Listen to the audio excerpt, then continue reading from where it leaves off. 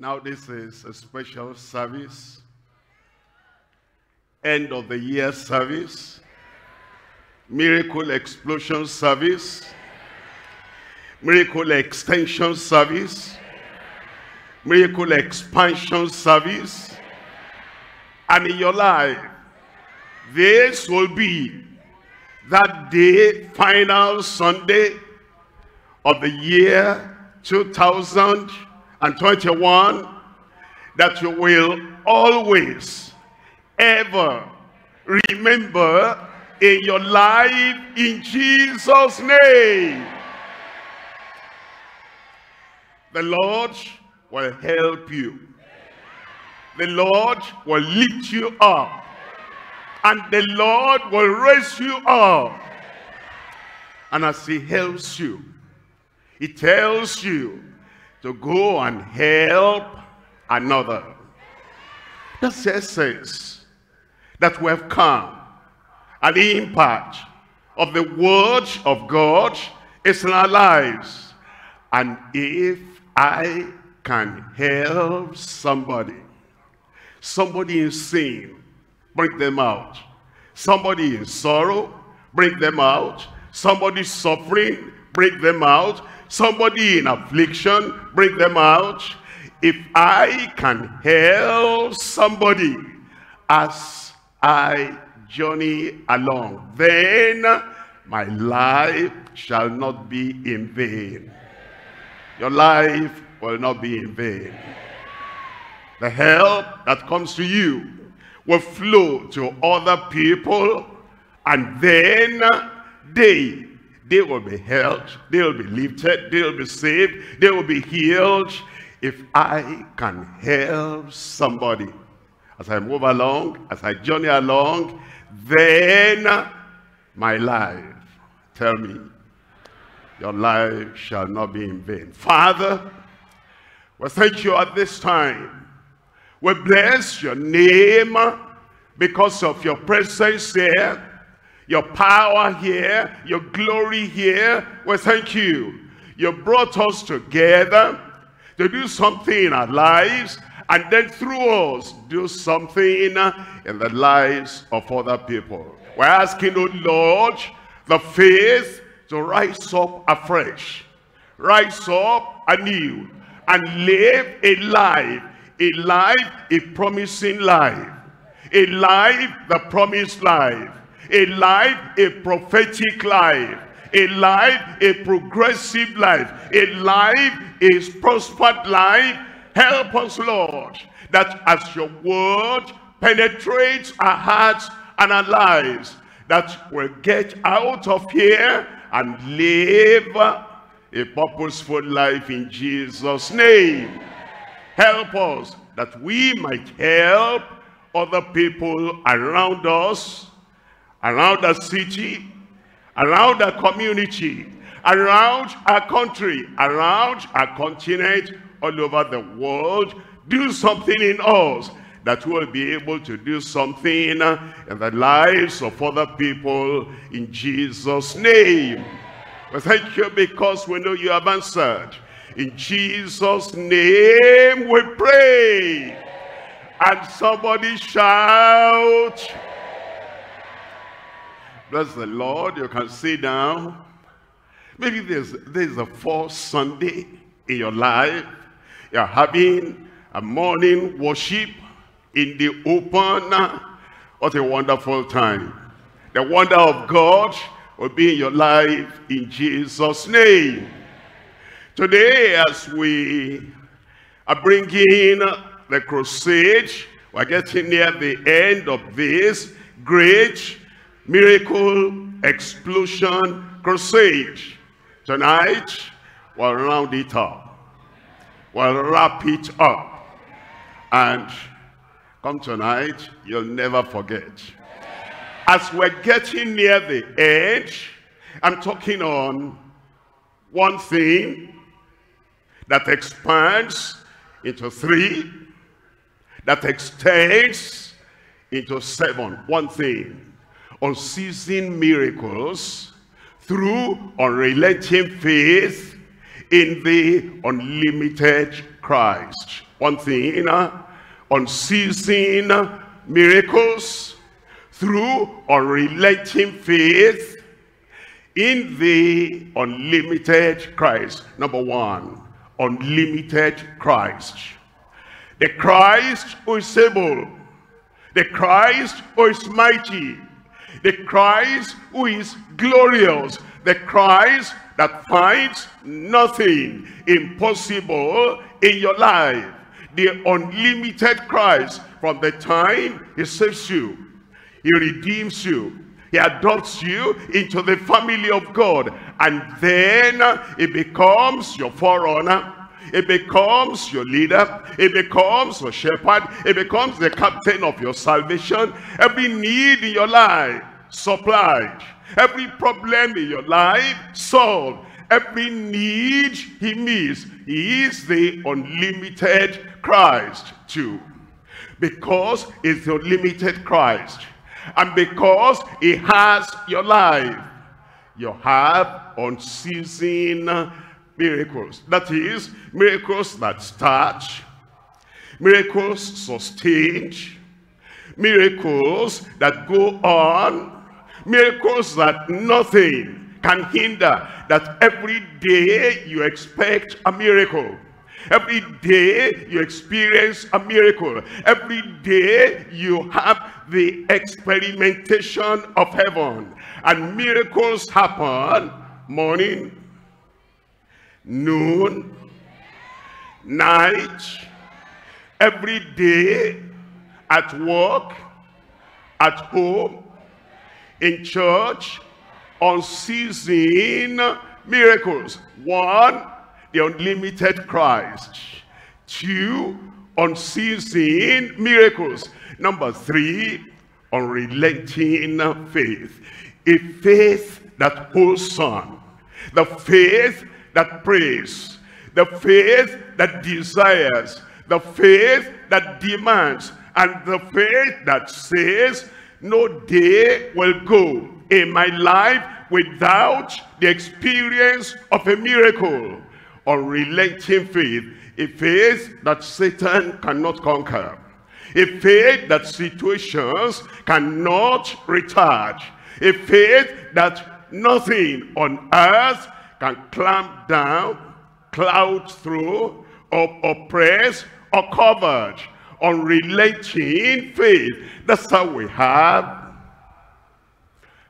unceasing miracles, in the unlimited through the unlimited Christ because of the unrelenting faith. Look at your Bible in Hebrews chapter 10. I'm reading from verse 23. Let us hold fast, unrelenting. Let us hold fast, never giving up. Let us hold fast the profession, the confession, the declaration of our faith without wavering, for he is faithful. That promise, verse 38 says, the just shall live by faith. That's how healing becomes permanent. The just shall live by faith. That's how the joy of the Lord is your strength every time. The just shall live by faith. That's how we walk on the stormy waters of life.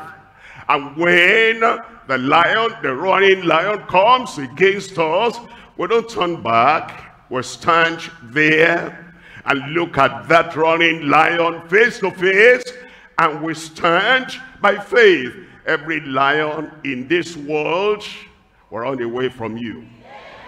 The just shall live by faith as you live your personal life, a victorious life, a vigilant life, a life that is triumphant. The just shall live by faith in your family. Between husband and wife, wife and uh, husband, parents and children, we don't walk by sight. The just shall live by faith in your profession. Anywhere you are walking, Everything the Lord had decided that you will have, how do you have? Not by force, not by violence, not by protests, not by fighting. The just shall live by faith. And as you live your spiritual life, moral life, emotional life, anywhere you are, all alone by yourself or with other people, the just shall live by faith. You will live.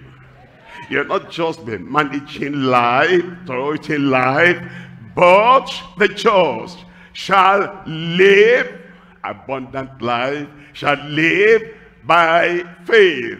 Hebrews 11, reading from verse 6. It tells us, without faith in the morning, without faith in the afternoon, without faith in the evening, without faith in the church, without faith outside the church, without faith in your family, without faith in the community, without faith in this evil world, without faith, it's impossible to please God. For he that cometh to God must believe that he is, and that he is a rewarder. He will reward you today. It will add something to your life every day. Miracle to your life every day. Joy to your life every day. Because you believe that he is and he is a rewarder of them that diligently seek him. Honestly seek him. Passionately seek him. Zealously seek him. He, the Almighty God, is a rewarder of them that diligently seek him. Hebrews chapter 12, verse 2. It tells us looking unto Jesus. You're not looking at cancer. You're not looking at ulcer. You're not looking at something moving about in the body. You're not looking at all the deprivations. You're not looking at disease. You're not looking at what the story the world is telling. You're not looking at all the mishaps happening around you. If you look at them, you're looking at the stormy sea. And when the disciples looked at the stormy sea, they began to sink. But in all situations, at all times, in the midst of friends, in the midst of enemies, whatever enemy might be doing and whatever ocean might be raging around you, looking unto Jesus, the author and the finisher of our faith. Oh, for the joy that was set before him, endured the cross, endured the cross. Everyone has a cross to carry. And the songwriter tells us, carry your cross with a smile.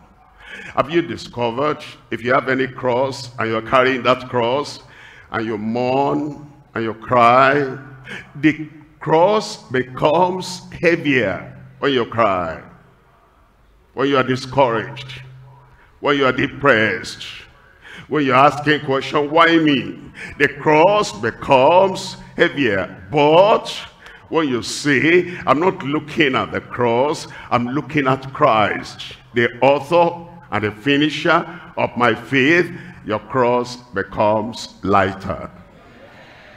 I said your cross becomes lighter.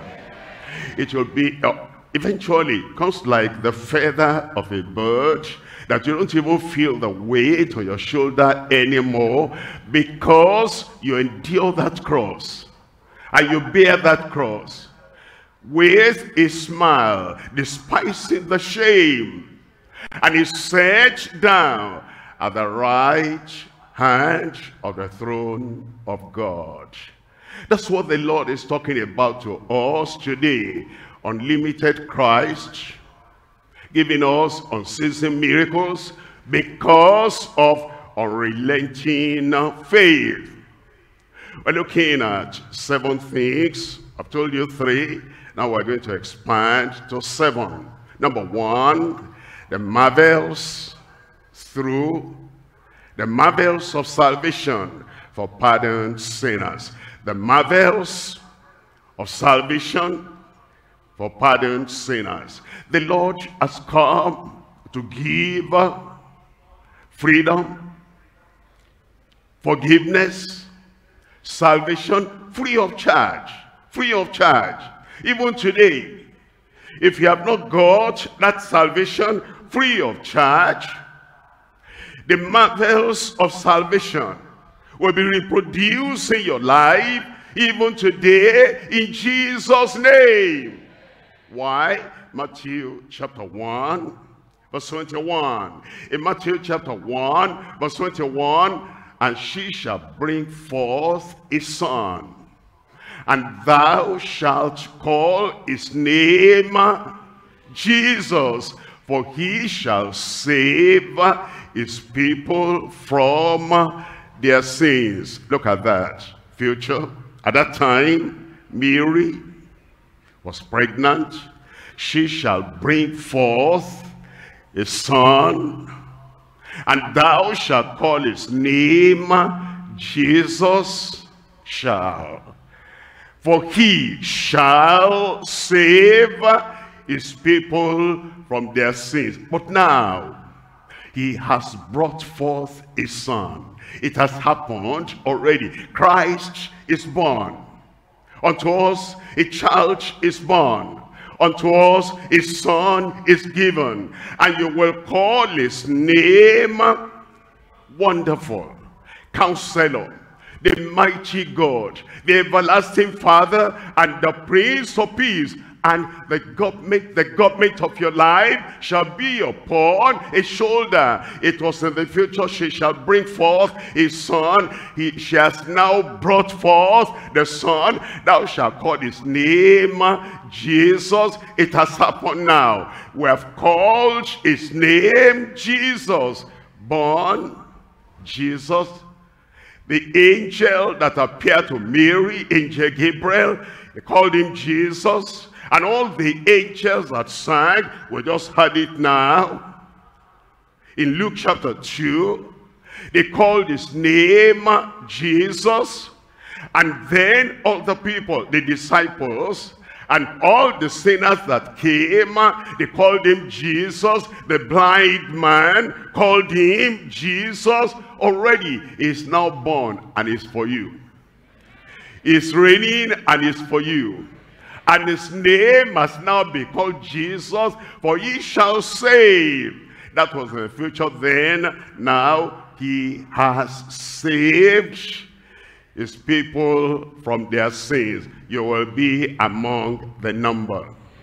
I said you'll be among the number. In verse 23, it tells us, it says, Behold, a virgin shall be with child and shall bring forth a son, and that and they shall call his name Emmanuel, being interpreted is God with us.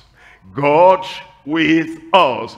At that time, it was prophetic, but now it's a performance. And when he appeared to his own disciples after his resurrection, he said, all power on earth, in heaven, is given unto me. Go ye therefore and teach all nations, baptizing them in the name of the Father and of the Son and of the Holy Ghost, teaching them to observe all that I've commanded you. Look at this.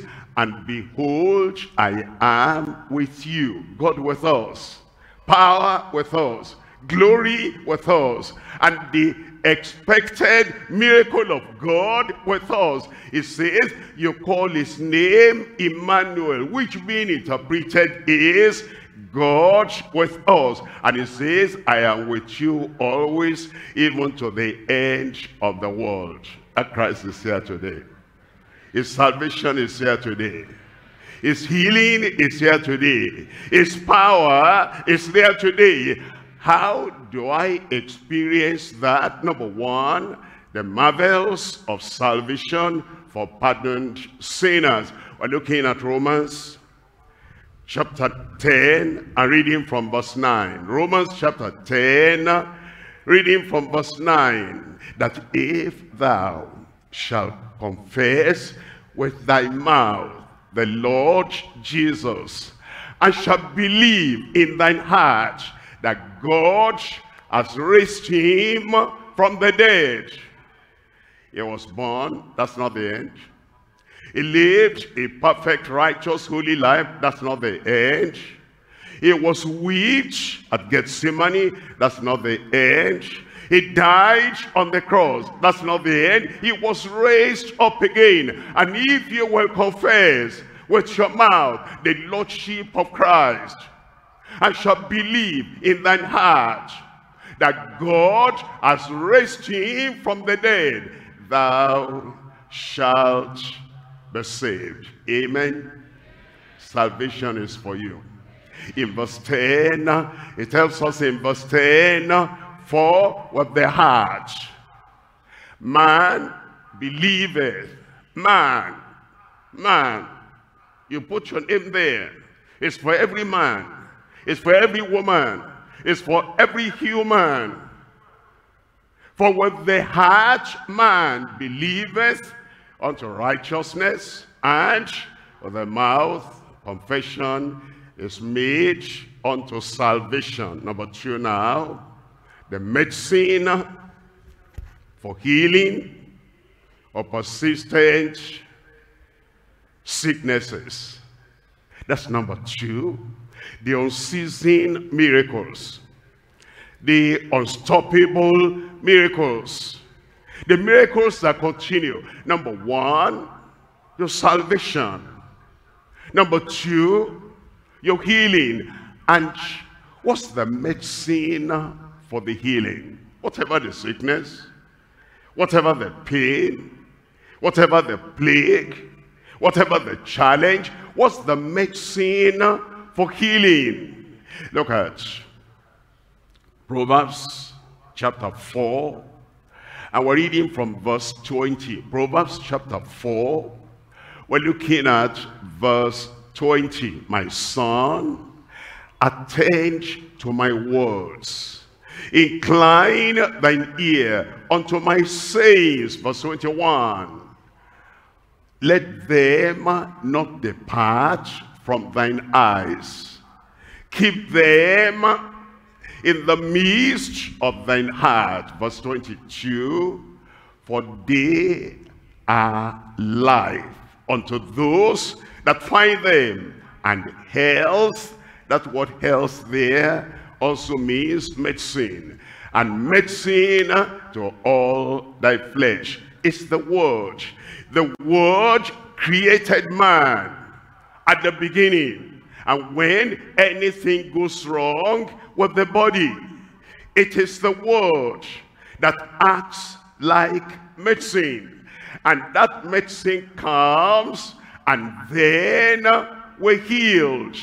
That's why we're told in Matthew chapter 8, reading from verse 8, and the centurion said, I am not worthy that thou shouldest come under my roof. Speak the word only. Why? Because that's the medicine.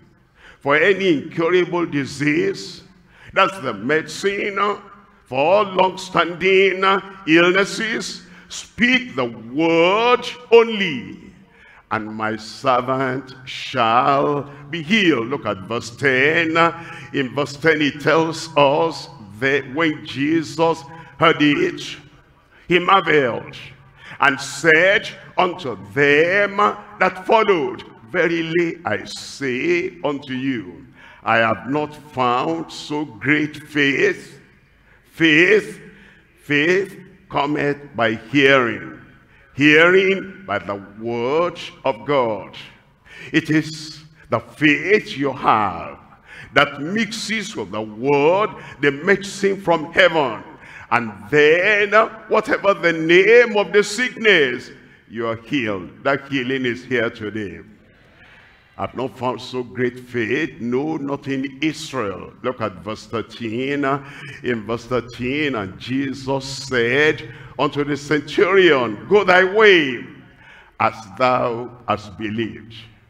As thou hast believed. As thou hast believed. That's, that's what life is. That's how miracles come. As thou hast believed if you need healing, as thou hast believed.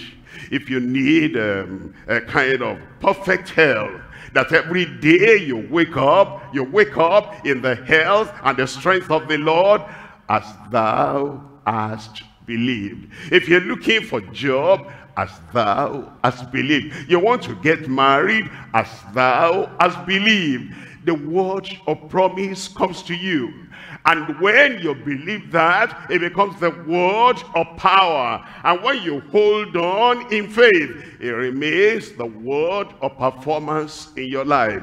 As thou hast believed, so be done unto thee. And his servant was healed in the same same hour. That's the way it will happen to you. I said that's the way it will happen to you. Jeremiah chapter 30. I'm reading from verse 13. Jeremiah chapter 30. We're looking at verse 13. There is none to plead thy cause.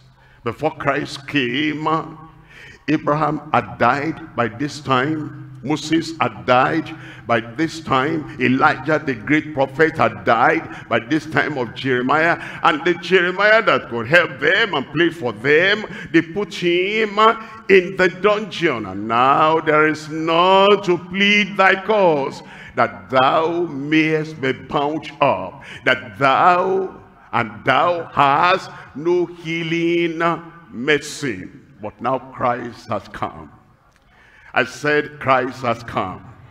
The healer has come. The deliverer has come. The redeemer has come. Amen. In your family, amen. In your life, amen. Look at what that amen now produces. Verse 17.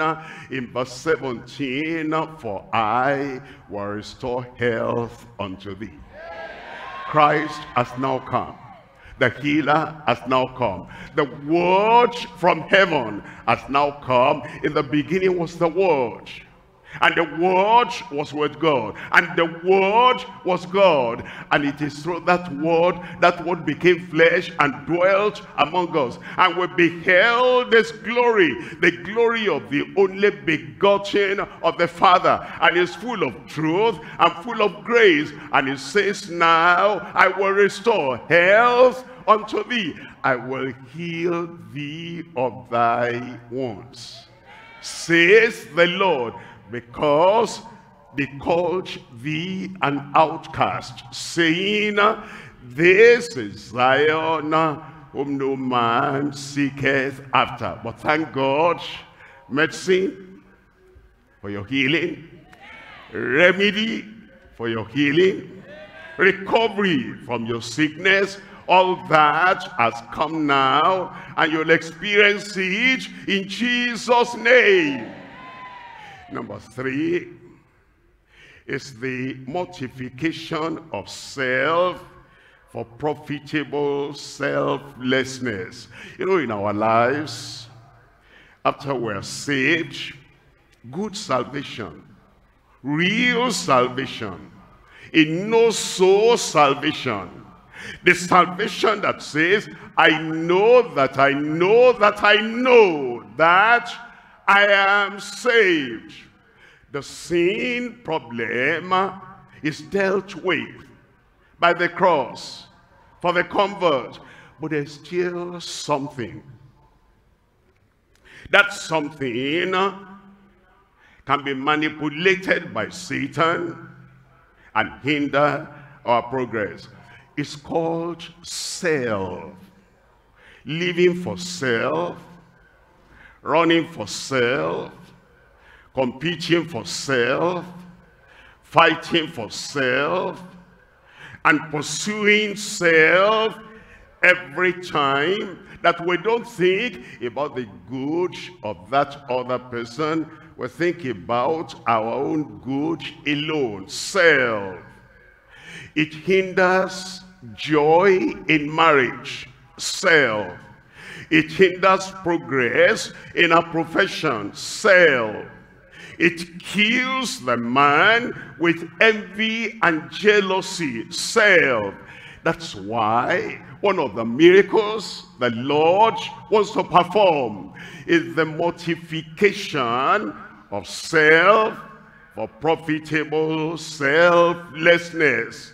Look at Jeremiah chapter 45, the first part of verse 5. And seekest thou great things for thyself you know, you can seek great things for the Lord. I want to evangelize. I want to expand the kingdom of God. I want many souls to be saved. I'm seeking great things for the Lord. You can seek great things for other people. I want them lifted. I want them happy. I want them joyful. I want them successful. I want them progressing. You can see great things for our country, for your country. I want our country to come out of this terrible situation in which they are. You're seeking great things for other people, but there are people saved from sin, and every prayer they pray, every pursuit they have, Every action they manifest is seeking great things for themselves. If others are sad, that's okay for them. Once I'm happy. If others are down, that's okay for them. If I am up. But the Lord is saying, the miracle of the hour and the miracle of the year he wants to perform in every life is the mortification of self for profitable selflessness. Seekest thou great things for thyself? Seek them not. Seekest great things just for yourself. Happiness just for yourself. Joy just for yourself fulfillment just for yourself and then you clamp down on others you trample on others you walk over others. You don't even look back because you are so consumed. With self the lord is telling us a way to carry miracle and a way to possess miracle and a way to preserve miracle that for yourself you are not seeking uh, gratification, satisfaction, promotion only for yourself. That the husband is not seeking greatness at the expense of the wife. That the wife is not seeking greatness at the expense of the husband that the children are not seeking satisfaction and promotion, happiness and joy at the expense of the parents, that the member of the church is not seeking gratification, exaltation at the expense of other members. We're told in Philippians chapter 2, reading from verse 3. Philippians chapter 2, verse 3. Let nothing be done through strife or vain glory. The people who are vain as they glorify themselves, they're full of self. The people who strive or fight when things are not going their way, they're full of self. He wants us to understand that it's a great miracle when self is crucified and self is destroyed in your life, let nothing be done through strife of vain glory, but in lowliness of mind, let each esteem other better than themselves. Verse 4, verse 4 says, Look not every man on his own things. You see, we're different. Our callings are different. Our responsibilities are different. Our purpose and pursuit in life are different.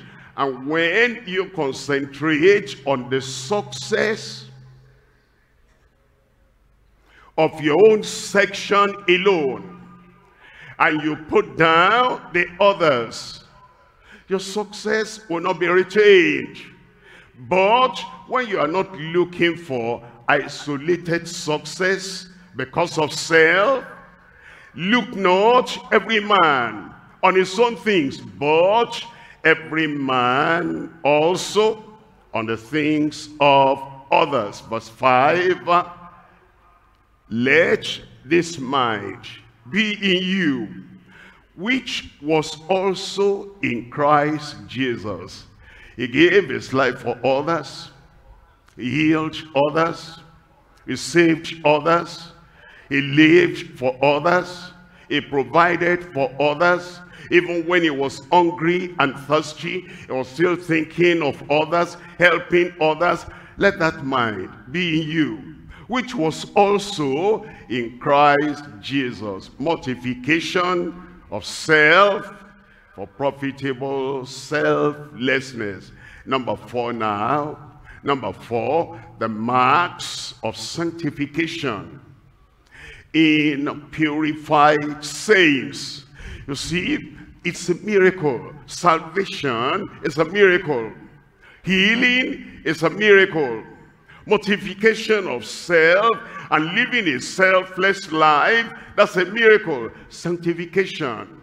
When God, through Christ, purifies our hearts and we are sanctified and the old Adamic nature is dealt with in our heart, in our lives. And the blood of Jesus Christ cleanses us from all sin.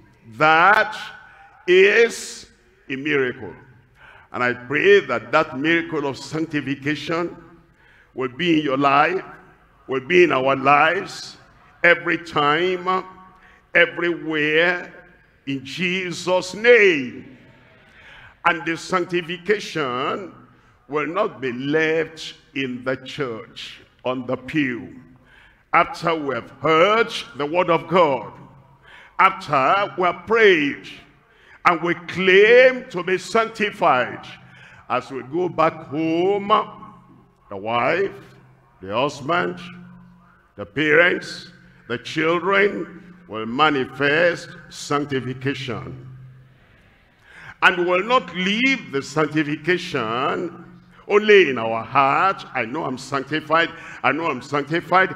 As we go to our places of work, we take the sanctification along with us as we deal, as we relate to other co-workers, and we relate to other travelers in the bus, in the taxi, as we relate with our bosses in the place of work, as we relate with our subordinates in the place of work, the sanctification will be evident. And then in our attitude, in our mood, the sanctification will be reflected. But you know, if we claim, I am saved, I am sanctified, and the mood on our faces shows anger, and shows revenge, and shows retaliation, and yet every time we're thinking of sanctification, Jesus only, and Jesus ever, Jesus all in all, we're seeing. It's a Savior, we're seeing. It's a healer, we're seeing. It's a sanctifier, we're seeing. But our faces don't show that sanctification. Our moods don't show that sanctification. Our reaction when things happen, don't show that sanctification. We have left the sanctification in the church and we're empty and we're just going through life. But when this miracle happens, it will happen. I said it will happen. There'll be the marks of sanctification in purified saints. We're told in First Thessalonians chapter 4. And I'm reading from verse 3. It says, For this is the will of God, even your sanctification. This is the will of God, even your sanctification, personal. It's like he says, this is the will of God, even your salvation. It's like he says, this is the will of God, even your healing. Can you say, my wife is not claiming healing, so I also will not be healed. You don't say that. My wife is not demonstrating salvation, therefore I also, I reject salvation. You don't say that. Why do you say, my husband is not manifesting sanctification? He's always angry and he's retaliating. If you do a little thing here, he complains every time. There's no peace at home. All right, since my husband is not manifesting sanctification, I too will not have sanctification. You can't say that for you. Whatever others do, for you, whatever others lack, this is the will of God, even your sanctification. That will will be fulfilled in every one of our lives in Jesus' name. Ephesians chapter 5, verse 26. Ephesians chapter 5, verse 26. That he might sanctify and cleanse it.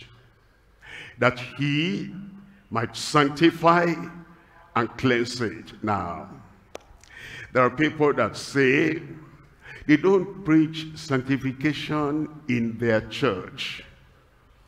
And Christ is offering them, he said, I died for you so that I can sanctify you. He said, thank you, Jesus. My pastor doesn't make much of sanctification. Our church doctrine does not make much of sanctification. Thank you, Jesus. I understand your mind. I understand your heart. You're providing sanctification. But I cannot get it from you because our pastor in our church does not talk about that. You exalt your pastor. You exalt your Sunday school teacher above Christ. Christ died for it. Christ paid for it. And Christ has provided it that he might sanctify and cleanse it of the washing of water by the word. In verse 27, it says that he might present it to himself, a glorious church, not having spot. Look at your life. Are you free of those spots? The spots we find in the world. The blemish we find in the world, the arrogant attitude we find in the world, the language, dirty language we find in the world, the thought, the evil thought we find in the world, the action, the retarding action, retrogressive action that we find in the world that's what sanctification wants to remove. That's what Christ died for. Christ did not die for you, that you remain the way you have always been, talking the way you have always spoken, and acting the way you have always acted. He provided sanctification, that he might present the church unto himself A glorious church, not having spot or wrinkle. That's the mark of the old man. When people are getting old, old, old, older, you begin to see wrinkles. And it's the evidence and the mark of the old nature or any such thing, uh, but that it should be holy and without blemish. Amen. Your life holy and without blemish. Your family holy and without blemish. Number five. Thank you, boy. Number five, the mantle of the supernatural from the powerful Holy Spirit. The mantle of the supernatural from the powerful spirit. Let me ask you a question. You know about the Holy Spirit. You know about his indwelling power. You know about his enveloping power. You know about his weakening power. You know about the supernatural power of the Holy Ghost. You know it in the head. Is it in your heart? We have a few men, a few women in the Bible that had the power of the Holy Ghost. We can talk about Moses and we can see Pharaoh could see the manifestation of that power. We know about Joshua that Moses laid hands on and he received the spirit that was on Moses and we can see the evidence. And we know about Elijah. Elijah that stood, didn't run away from the enemy, didn't run away from persecution. We know about Elijah. We know about Elisha. And we can see the manifestation and the moving of the Holy Ghost in his life. We know about David. And then we come to the New Testament. We know about John the Baptist. We know about 120 in the upper room. They add the Holy Ghost on them. And we can see the evidence now. If you claim to have the mantle of the supernatural power of the Holy Ghost, where is the evidence? A cockroach makes you afraid, not Elijah. A rat makes you afraid, not Elisha. And news, you've not even seen anything. And they say, enemy, enemy, enemy, imaginary. And you cannot go out. You cannot do what you want to do. Not Elisha. Elisha said, fear not, for they that be with us are more than they that be with them. If truly you have the power of the Holy Ghost, show the evidence. By the way you live, by the way you talk, by the way you plan, by the places you go, by the way you stand, and by the way you are able to face whatever it is to face in life.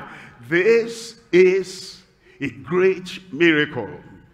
The mantle of the supernatural from the powerful Holy Spirit. Look at Second Kings chapter 2 verse 8. Second Kings chapter 2 verse 8. And Elijah took his mantle and he wrapped it together and he smote the waters and they were divided hither and thither. So they two went over on dry ground. Give me a good amen. You will move forward. Oh, a river is before me. River Jordan is before me. Have the Holy Ghost power and stand by that bank of River Jordan.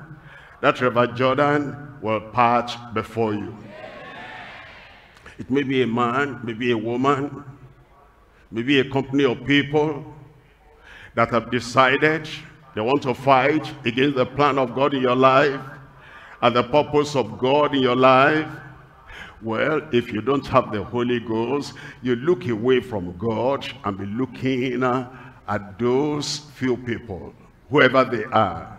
Even if Pharaoh will join Sennacherib and will join Nebuchadnezzar and join Herod and they all team together and they are standing before you as a formidable Jordan.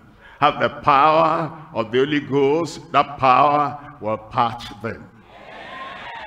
And so he took his mantle, wrapped it together, and he smote the river. And then they went on dry ground. Verse 9, in verse 9, and it came to pass when they were gone over, like I am going over. I say like I am going over. I'm leaving fear behind. I am going over. I'm leaving problem behind. I am going over. I'm leaving Jordan behind. I am going over. I lost my people. I am going over. You know, if you could remember everything the Lord wants to do in your life, and the purpose why he called you like he called Elisha on purpose. And all those 50 prophets, sons of the prophets, they were asking him question. They didn't go to Elijah. They were going to Elisha. Do you know? Do you know? Do you know? He said, please, hold your peace. I'm going over. Hold your peace. I am going over. Somebody there.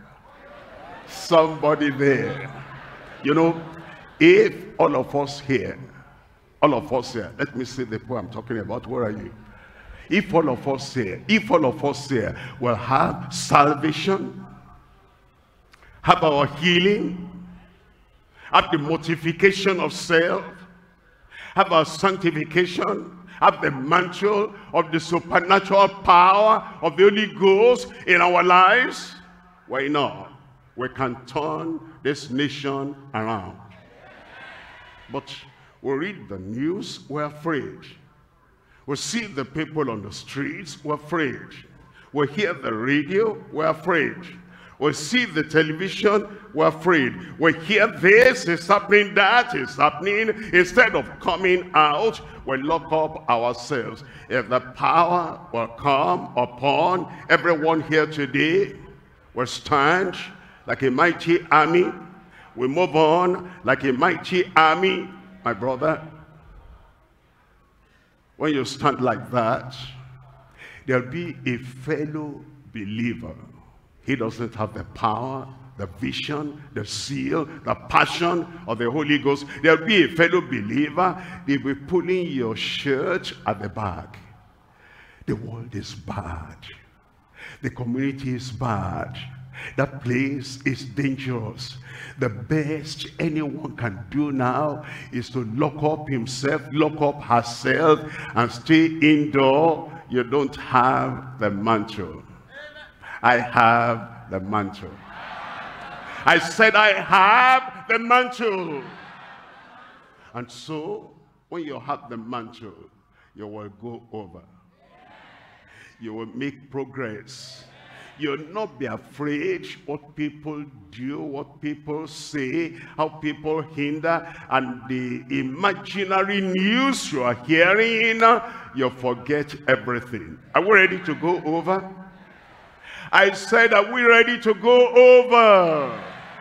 It came to pass when they had gone over that Elijah said to Elisha, ask what I shall do for thee before I be taken from thee. And Elisha said, Elisha said, they were in the open, they were not inside the church building. And Elisha said, well, Elijah, let's hurry up. The sun is biting. And we're sweating a lot. Uh-uh, that one doesn't come into the equation. Anybody wanting to get the mantle? Anybody wanting to have the supernatural power of God, even in the open, will say, one thing I desire, and that will I seek after that the mantle of power will come upon me, it will come upon your life. And so he said, Elisha said, I pray thee, let a double portion of thy spirit be upon me. A double portion of thy spirit be upon me. Amen. Check up your Bible from that chapter 2, manifestation of power through Elisha. Chapter 3, chapter 4, chapter 5, chapter 6, manifestation of power on Elisha. Can I prophesy upon your life that from this day, everything that terrified you before, intimidated you before, every army of the Assyrians that will make you to turn back every time you wanted to make a progress. Now, those enemies are behind you. They'll be under your feet. Next year, this coming year, great miracle. The following year, great miracle. All the arrears of miracles you had not got in the past, when you were acting like grasshopper, all those arrears, the Lord will bring back to your life. And so, as we look at Elisha, even after he died, everything God wanted to do through his life had not finished. And then he died and said, the Lord had said, I confirm it, a double portion of your of miracles upon your life.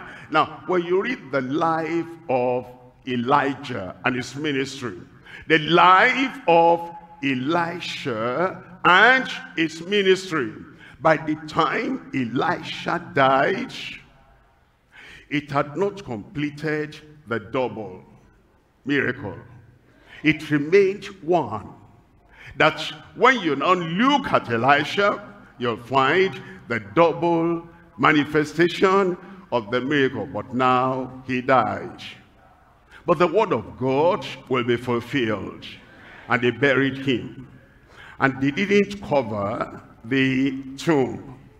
And somebody had died. And when they wanted to bury that person that died, they saw a band running after them. And in their hurry, they dropped the dead man in the tomb of Elisha. And the final miracle that will complete the double manifestation of Elisha's miracle on or above that of Elijah. That thing happened. That dead body got up and came alive. I thought you'll be excited. And that same power will be upon your life in Jesus' name. That's why Jesus said, wait, tarry in Jerusalem until you are baptized in the Holy Ghost. First John baptized with water, even so will you be baptized in the Holy Ghost, and you shall receive power. After that the Holy Ghost is come upon you, and ye shall be witnesses unto me, both in Jerusalem and Judea, and in Samaria, then to the uttermost part of the earth. They tarried, they prayed. The mantle of the supernatural from the powerful Holy Ghost came upon them. It will happen to you too. Number six now. Number six, the motivation for soul seekers with persevering zeal. The motivation for soul seekers with persevering zeal. By the grace of God, that same motivation upon um, Paul the Apostle and Peter, Philip, and the rest of them, this is our time. Your time has come. My time has come. A motivation from within. Not somebody making announcement and pushing us and pulling us and, you know, almost crying on the pulpit. Let us evangelize. When you have everything you ought to have, and the motivation comes from heaven, you'll be a soul winner. You'll be a soul seeker and then many will come into the kingdom of God through you in Jesus' name. Romans chapter 1, reading from verse 14.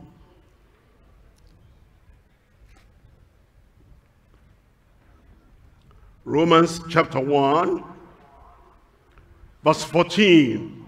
I am debtor both to the Greeks and to the barbarians, both to the wise and to the unwise. Then in verse 15, so as much as in me is, as long as I'm alive, as long as the vision keeps burning, as long as the fire unquenchable is still burning within me, as much as in me is, I am ready to preach the gospel, the good news of salvation, the good news of grace, the good news of redemption. I am ready to preach the gospel to you that are at Rome also. And then in verse 16 it says, For I am not ashamed. That's the problem. We meet a stranger we can talk about every other thing, about what's happening in our country, about security and whatever else, about pandemic and whatever else. That's what we can talk about freely. But when it comes to the gospel and the good news and sharing that and telling of Jesus, how he died on the cross of Calvary and how that salvation is now brought unto everyone and this person is also a candidate for the salvation of God uh-huh our mouths now are closed. We cannot talk. We're ashamed before the stranger. We're even surprised a wife has got this salvation. And there's peace of God in the heart. And the joy of salvation is present within. And then gets back home. And the husband is still like he was before always moody always fearful always complaining and the joy of the Lord is in the wife. What has changed your life can change his life. Or turn it around is the husband who has got the salvation and the gospel and the wife has not got it or is a relative that has not got it and you have got it why is it you can talk about family matters? You are not ashamed you can talk about old old ideas. When you were younger you are not ashamed. But now the gospel of Christ for I am not ashamed of the gospel of Christ for it is the power of God unto salvation to everyone that believeth, to the Jew first, and also to the Greek. I pray all the shame that has tied us down and closed our mouths that we could not talk to other people about redemption, about forgiveness, about new life in Christ all that shame will vanish away in Jesus' name. Mark chapter 13, verse 10. In Mark chapter 13, verse 10, and the gospel must first be published among all nations. Think about many things in your life. You cannot say this must be done before Christ will come. No, Christ is not going to wait for all those things. I'm waiting for this, waiting for this, waiting for that. There's one thing that must be done. That must be done. This gospel, the gospel of the kingdom must first be published among all nations. Other things might have to be brushed aside. Other things we might have to forgo. But there is one thing needful. The gospel must first be published among all nations. I pray you'll be a participant among the people that are taking the gospel to all nations in Jesus' name. Mark chapter 16, verse 15. And he said unto them, Go ye into all the world and preach the gospel to every creature. Verse 16. He that believeth and is baptized shall be saved. But he that believeth not shall be damned. I pray you will not be damned. You'll be among the believers. Do you notice that? He that believeth. You believe on the crusade field, but that's not the end. You keep on believing and believing and believing even after the crusade. He that believeth, he keeps on believing. He keeps on professing. He keeps on declaring, Christ is my Savior and Lord.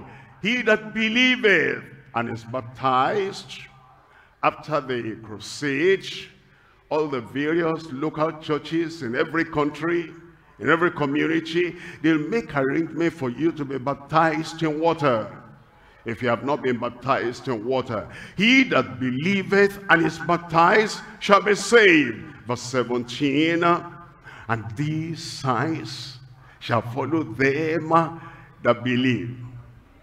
Today, as we are going back home, as we are living your life, and you keep on believing every day, these signs shall follow them that believe. In my name, you will cast out devils. In his name, you speak with new tongues. Verse 18, in his name, if you take up serpents, that is, if serpents, snakes come across your way, mention the name of Jesus, that snake will either run away, or if the snake is stubborn, the snake will die right there. And if they drink any deadly thing, it shall not hurt them. They shall lay their hands on the sick, and they shall recover. Verse 19 uh, tells us, So then, uh, after the Lord had spoken unto them, he was received up into heaven, and he sat on the right hand of God. And we're seated with him now on the right hand of God. He has conquered, he has destroyed all the powers of the enemy. And as we are seated with him, enemies are under your feet. Verse 20, it says, And they went forth and preached everywhere the Lord walking with them. The Lord walking with me. The Lord walking with you. The Lord walking with the men. The Lord walking with the women. The Lord walking with the high. The Lord walking with the low. The Lord walking with them everywhere. Confirming uh, the word with signs following give an amen that will bring manifestation. It'll confirm the word of your mouth. It'll confirm the message coming from you anywhere you go in Jesus' name. Number seven now is the mystery of supernatural translation for his prepared saints the Lord is about to come. And all of us who have come to the Lord during this crusade, all who came before, all who believe that Christ is the Savior and is their Lord when the trumpet shall sound. And the dead in Christ shall rise. And then we, which are alive, will be changed, will be transformed, will be transfigured, and then translated to heaven. You will be there. When the saints go marching in, who will be there? Who will be there? That hope will be confirmed in Jesus' name. First Corinthians 15, 51, Behold, I show you a mystery. We shall not all sleep, but we shall all be changed.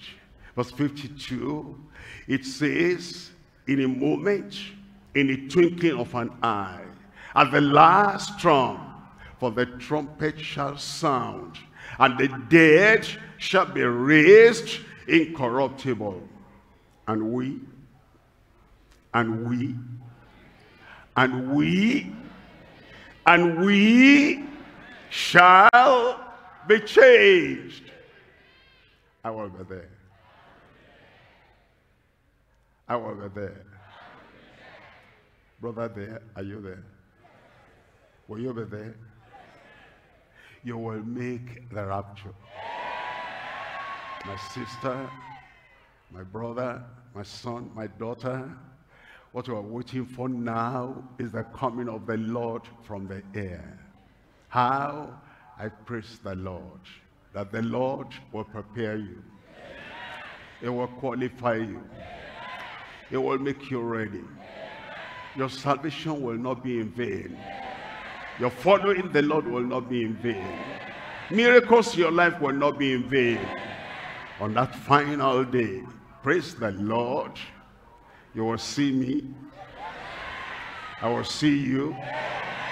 We shall be forever with the Lord in Jesus' name. Rise up now, rise up and let's talk to the Lord. Let's take everything we've heard to the Lord in prayer. And say, Lord, here I am. Here I am. I know my Christ is unlimited. And I know the miracles are unceasing.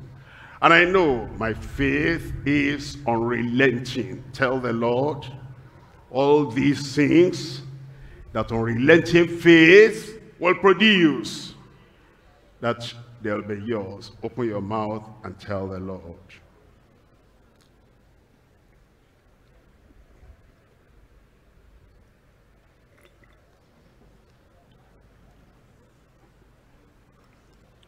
The marvels of salvation. It changes our lives. That's a marvel. The things we used to do, we do them no more. That's a marvel. New life, new thought, new mind, new direction in life, new language, marvels. The marvels of salvation, transformation, new creature, new behavior, new character, marvels of salvation. As he pardons you, cleanses you, turns your life around, marvelous salvation, marvelous transformation, marvelous newness of life. Medicine for healing or persistent sicknesses. The word is the medicine. Take in the word. Accept the word. Believe the word. Hold on to the word. The word or the sickness want us to go. When the word comes in, that sickness has to go. Is the cure for the incurable. The medicine against every sickness, every disease, medicine for healing. Speak the word only. My servant shall be healed. He sent his word and healed them and delivered them from all their destruction. The mortification of self.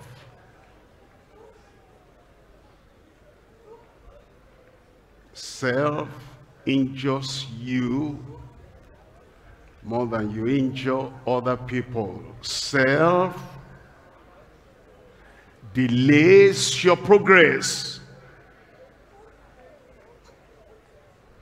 Self destroys your chances.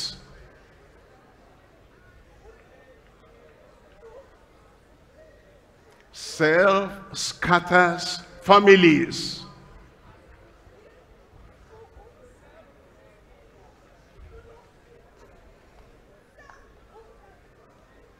Self takes away from you what you have gained.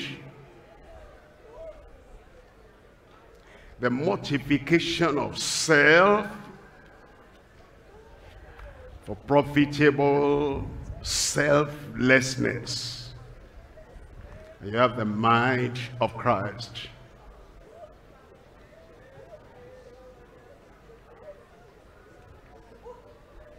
He submitted himself, he humbled himself, and made himself a servant. And the Lord has highly exalted him, that at the mention of the name of Jesus, every knee shall bow. The marks of sanctification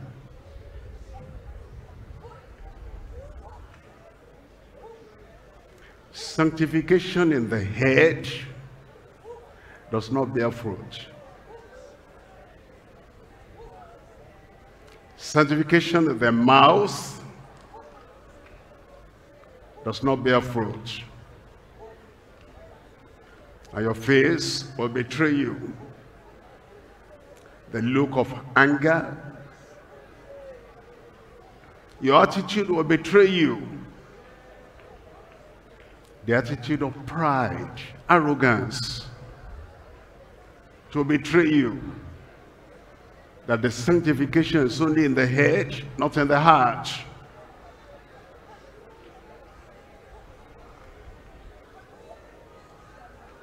Your pursuit, pursuing glory for yourself, will betray you.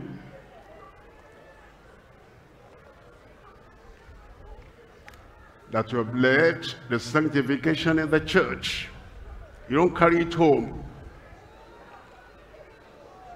Always irritated by non-essentials. Always fighting for non-essentials. Forgetting heaven. Forgetting holiness. Religious but not inwardly righteous. When there's real sanctification, the marks will show. The mantle of the supernatural from the powerful Holy Spirit. When the mantle came on Elisha, all those servants knew. They saw it. And they said, the power of Elijah has come on Elisha. It will be evident in your life. When the power is there, you're not afraid of the cockroach, afraid of the rat, afraid of the old woman, afraid of your neighbor, afraid of members and you tremble before a fellow man before a member of the church. And you don't tremble as much before the God of heaven. You're too man conscious. And you're not God conscious. Ahab will be the driving force in your life. Not the ancient of days. The mantle of the supernatural. It shall receive power, not weakness. It shall receive power, not fearfulness. It shall receive power, not timidity. It shall receive power after that the Holy Ghost is come upon you. And then you'll be witnesses unto him in Jerusalem, in Judea, in Samaria, and to the uttermost part of the earth. The motivation for soul seekers were persevering zeal. You reach out to others and you compel them to come in. You talk to sinners you plead with them earnestly that they should repent. And because you have the power of the Holy Ghost, it will have effect on them. They'll come to the Lord. And then, uh, when the great mystery will happen, behold, I show unto you a mystery. We shall not all sleep, but we shall all be changed in a moment, in a twinkling of an eye, at the last trump, for the trumpet shall sound, and the dead shall be raised incorruptible, and we shall be changed.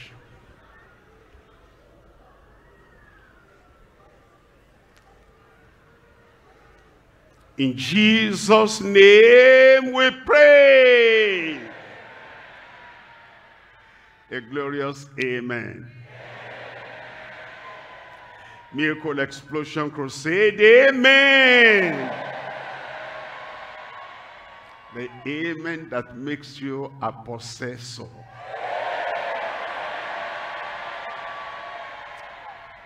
It's of those blessed hands, anointed hands, from this time, anytime you have any challenge, you lay the hand on your chest, and the problem will go where it came from. Father, in Jesus' name, we thank you because you have given us Jesus, and he is unlimited. We thank you because from now on, There'll be unceasing, unstoppable miracles in every life in Jesus' name. We thank you because you have killed our faith and our faith is now unwavering, unrelenting, undeniable. We're asking, oh Lord, that this new kind of faith you put in us now will overcome every moment in Jesus' name. Confirm in every life the marvels of salvation, the medicine for healing, the mortification of self. Confirm in every life the marks of sanctification and confirm the mantle of supernatural power. Give everyone the motivation for soul seeking. And we pray, Lord, when that mystery will take place, and the trumpet shall sound, and the dead in Christ shall rise, and the believers who are alive shall be changed and transformed and caught away to be with the Lord forever and ever. Every child of God here, every child of God there, online, everywhere, we will go with the Lord in Jesus' name. The doors of heaven are open to everyone. And we pray as we believe, as we enter in, nothing will deny any of us the glorious, great, marvelous wonders coming to every believer in Jesus' name. Joy for everyone. Peace for everyone. Purity for everyone. Power for everyone. Zeal in everyone. And as we go through life, the joy of the Lord will be the strength of everyone in Jesus' name. You are a possessor. You are a partaker. And the power of the Lord will never stop in your life. Confirmation, Lord, in every life. In Jesus' name we pray.